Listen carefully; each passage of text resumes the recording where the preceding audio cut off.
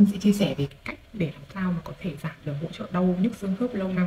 Và cái tình trạng đau nhức xương khớp bây giờ xảy ra ấy, thì nó không chỉ là xảy ra đối với cả những cái người già đâu mà những cái người trẻ tuổi bây giờ cũng có rất là nhiều những cái bệnh lý về xương khớp.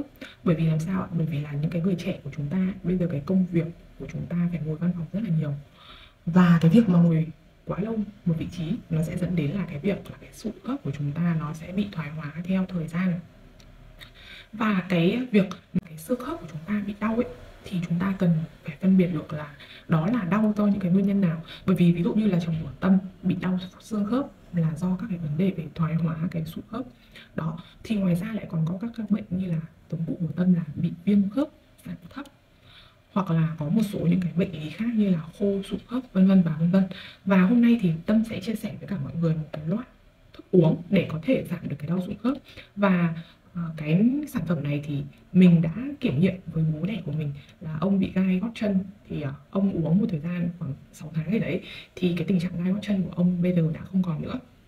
Tất nhiên là thỉnh thoảng bây giờ cũng có lúc bị nhói đau nhưng mà mình sẽ vẫn cho ông bổ sung thêm cái sản phẩm này. Và chồng của mình thì gần đây có một cái rất là buồn đấy là đi khám sức khỏe định kỳ thì lại bị um, thoái hóa cột sống. Đấy thoái hóa cột sống thì nó có rất là nhiều nguyên nhân mọi người có thể là uh, những cái người mà béo phì ăn cân quá nhanh hoặc là những cái người mà ít vận động chẳng hạn nó làm cho cái ờ, cuộc sống của mình nó không được linh hoạt bởi vì là chúng ta phải ngồi văn phòng làm việc quá nhiều. Thì um, bị thoái hóa sụn khớp thì uh, chồng mình cảm thấy cái phần ở phần lưng này, này nó rất là đau và nó bị nhói khó chịu. Đấy nhất là khi vào buổi sáng khi mà tỉnh dậy thì nó sẽ cảm thấy đau nhói hơn so với cả trong ngày bởi vì là trong ngày khi mà chúng mình vận động thì các cái sụn khớp nó đã mềm ra rồi và nó sẽ không bị uh, đau quá nhiều như khi mà chúng ta vừa thức dậy buổi sáng thì ở trong cái viện Hàn Lâm đây mình sẽ để cho mọi người xem nhé cái này nó lại bị ngược à, à sản phẩm của viện hóa học hợp chất thiên nhiên thuộc viện Hàn Lâm khoa học và công nghệ Việt Nam. Và ở đây họ rất là cẩn thận có một dòng chữ đỏ ở đây họ ghi là cấm sao chép và làm giả dưới mọi hình thức. Bởi vì là cái sản phẩm này thì uh, những cái sản phẩm tốt ở trong viện ý, thì cũng đã có tình trạng bị hàng giả hàng nhái rồi mọi người nhé cái thành phần của cái sản phẩm này thì mình thấy cái thành phần của nó rất là ok. Thành phần của nó là sụn cá thủy phân. Thì uh, cái sụn cá thủy phân này nó có cái tên là uh, chondro chondroitin sulfat không biết là mình đọc có đúng không? Tí nữa mình sẽ để cái tên lên trên này để cho mọi người xem nhé. Thì uh, cái sụn cá thủy phân này theo như là mình đọc tài liệu và mình đọc tài liệu ở trên cái trang của bệnh viện Vinmec thì uh, nó sẽ có tác dụng điều trị các cái bệnh về xương khớp nó sẽ là nguyên liệu chính trong quá trình tái tạo mô sụn khớp và xương. Nó tham gia vào cấu trúc màng tế bào, đồng thời có trong thành phần sợi chun tại các mạch máu lớn và chiếm tỷ lệ cao trong chất cơ bản ở mô sụn và xương.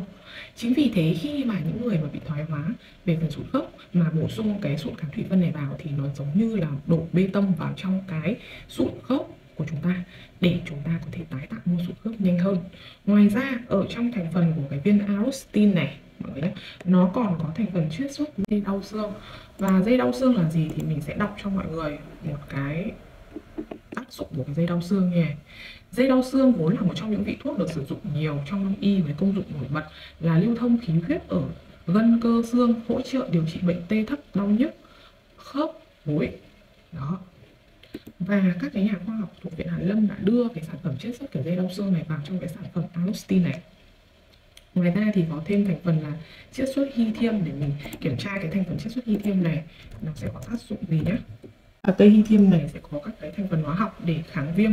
Hạ huyết áp và giãn cơ thì với những cái người mà bị uh, uh, vấn đề về xương khớp ấy, thì là nó đang bị phát sinh các vấn đề về viêm bởi vì là cái sụn khớp của chúng ta nó không hoạt động bình thường nữa dẫn đến là các cái xương nó nó nó sát vào nhau và nó gây viêm. Thì cái cây hy thiêm này có tác dụng là ngăn ngừa viêm đấy kể cả viêm cấp và viêm mãn tính ngoài ra, ở trong cái viên arostin này nhé nó còn có cái thành phần glucosamine sunfat đấy, chính là cái bổ sung cho sụn khớp. Và cái cucumin 3C là cái thành phần để kháng viêm giảm đau rất là tốt. Và trong viện thì cái sản phẩm cucumin là rất là nổi tiếng rồi mọi người nhé và cái viên thuốc khớp Alustin này, này thì một ngày sẽ uống 4 viên chia hai lần và uống sau cái bữa ăn là 30 phút. Và cái sản phẩm này thì nó không hề gây đau dạ dày giống như là các cái sản phẩm khác bởi vì nó rất là lành tính. Các thành phần này đều là những cái thành uh, phần chiết xuất từ uh, tự nhiên ví dụ như là sụn cá từ thủy phân này hoặc là cây đau xương rồi hy thiêm rồi ờ, uh, gozamin cũng ở trong sụn cá và curcumin thì là tinh chất đến từ cái củ nghệ. Nó chữa kháng viêm giảm đau và chữa lành vết thương rất là tốt. Và cái sản phẩm này thì mọi người cứ kiên trì sử dụng cho mình từ 3 cho đến 6 tháng thì mình sẽ thấy hiệu quả. Dùng khoảng 3 tháng là mình đã thấy có những cái dấu hiệu, cũng có những cái hiệu quả giảm đau rõ rệt rồi. Và với những cái sản phẩm mà không phải loại thuốc như này thì mọi người cần rất là kiên trì sử dụng, cũng như là kết hợp tập luyện. Bởi vì là những cái người mà bị đau xương khớp này là những cái người mà ít vận động ít vận động hoặc là phải vận động quá mạnh chẳng hạn. Thế nên là chúng ta cần phải cân bằng lại là chúng ta cần phải tăng cường bổ sung tập luyện cũng như là hạn chế những cái tác động mạnh lên những cái phần bị tổn thương. Và tâm hy vọng rằng là cái video này sẽ hữu ích đối với những ai đang bị đau xương khớp đặc biệt là kể cả những cái người mà trẻ tuổi.